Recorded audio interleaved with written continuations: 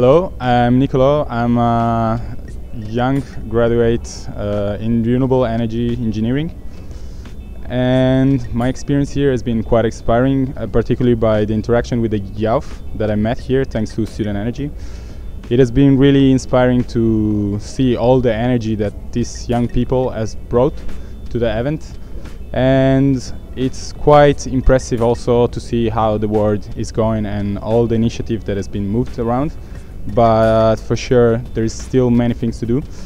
And there is still more uh, interaction needed. There's like the, there's need a boost of interaction needed between our generation and the current political leaders.